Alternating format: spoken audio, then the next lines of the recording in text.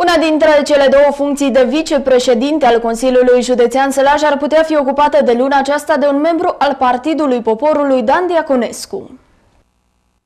Este vorba despre funcția ocupată acum de liberalul Valeriu Crișan și care ar urma să fie debarcat în urma noilor majorități care se prefigurează în consiliile locale și cele județene odată cu încheierea la nivel național a unui protocol între PSD și PPDD.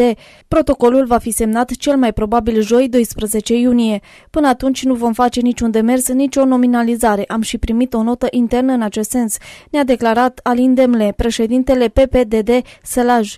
Potrivit acestuia, protocolul prevede că în județele unde președintele Consiliului Județean este membru PSD, cum este și cazul Sălajului, una dintre funcțiile de vicepreședinte să revină PPDD-ului. În privința de concentratelor, toate instituțiile care au fost ale PNL-ului vor fi împărțite de UDMR și PPDD, fie că le convine sau nu unora sau altora, a completat Demle. Președintele PPDD Sălaj a precizat însă că principala miza protocolului este constituirea noilor majorități în consiliile locale și județene. În Sălaj, în Consiliul Județean, PPDD are trei mandate, care s-ar adăuga la cele 17 deținute de PSD, PC și UDMR.